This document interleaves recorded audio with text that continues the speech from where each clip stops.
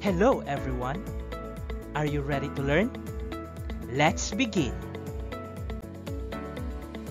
Can you identify which of the following mixture is heterogeneous or homogeneous? Rubbing alcohol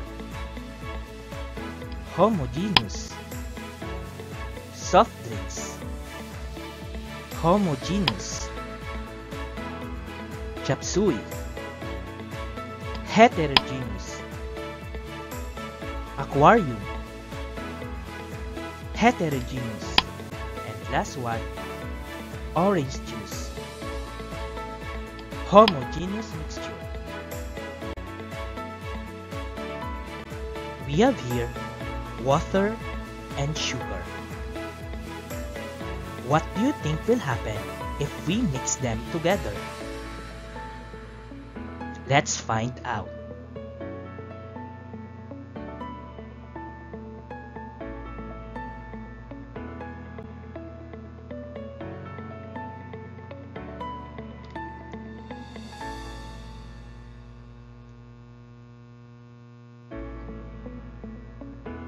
After stirring it, you can see that the sugar disappear. When you dissolve sugar in water, you form a solution. A solution is formed when one substance dissolves in another substance, and it is a homogeneous mixture. When substance in the solution is dissolved, it breaks down into molecules. In our example a while ago, upon mixing, the particles of sugar eventually dissolve in water. This means that the sugar is no longer visible but still in the water. In a solution, substances mix thoroughly. After stirring, it appeared as one substance you can no longer distinguish one component from another. For example, when you mix water and juice powder, you cannot identify the powder juice because it's already dissolved in the water. To form a solution, you need two substances, the solute and the solvent. In our example, the solute is the sugar and the solvent is the water. When you look at a solution, it is not possible to distinguish or identify a solute from a solvent. Solute is the substance that being dissolved and usually present in smaller amount. Some examples of solute are salt, juice powder, and coffee powder. Solvent is the substance that dissolves the solute and usually present in larger amount. For example, water. Water is considered as the universal solvent because it can dissolve so many solute. But remember, not all solute can be dissolved by water. Some other examples of solvent are bleach, gasoline, vinegar, paint thinner, and acetone. A solution can be classified according to the amount of solute and solvent it contains. It can be diluted solution, concentrated solution, or saturated solution. A diluted solution is formed when small amount of solute is dissolved in a solvent. A teaspoon of powdered juice dissolved in a glass of water is an example of diluted solution. A concentrated solution is formed when large amount of solute is mixed with a solvent.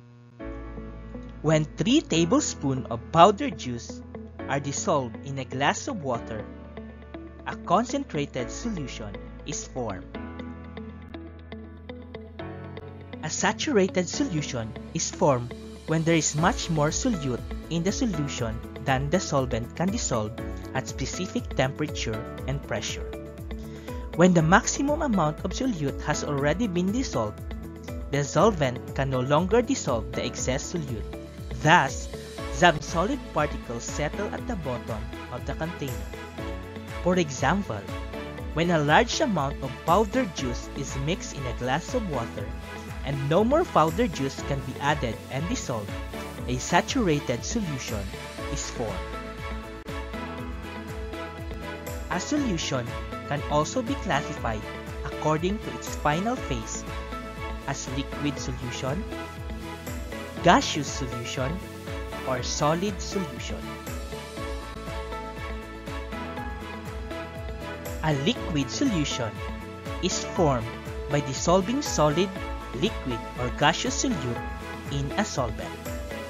Examples of liquid solution with solid solute is a syrup. The solute in the syrup is the sugar and the solvent is the water. Liquid solutions with liquid solute are formed when the liquids readily mix with each other. When liquids combine easily with each other, they are described as miscible. Alcohol is a liquid that is miscible in water. On the other hand, liquids that do not readily combine in a solution are described as immiscible. Oil is a liquid that is immiscible in water. A gaseous solution is made by mixing two or more gases. Air is an example of gaseous solution. The solvent in air is nitrogen, and the solute are oxygen, carbon dioxide, and other gases.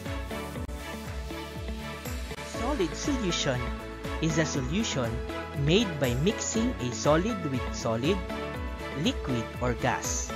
For example, bronze. A bronze is a combination of copper and tin. The solvent is copper and the solute is tin. Steel. The solvent in steel is carbon and the solute is iron. Brass. Brass is a combination of copper and zinc. Zinc is the solute and copper is the solvent. Other examples of a solution is vinegar. It is a combination of acetic acid which is liquid and water which is also liquid.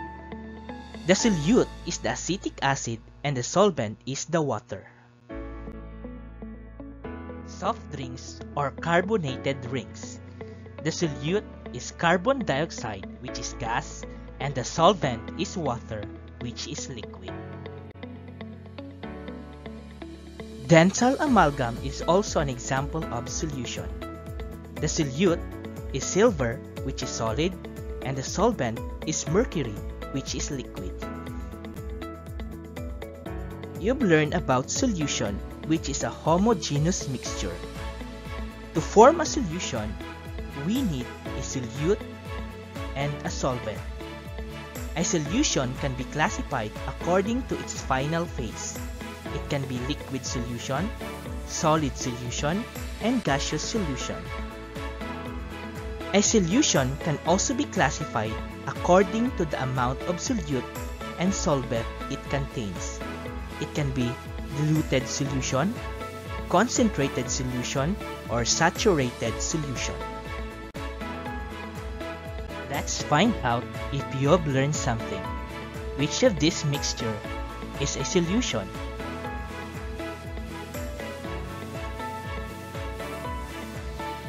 Coffee. What else? Steel. And last one, orange juice. That's all for today. I hope you've learned something new. Thanks for watching. See you next time. Goodbye.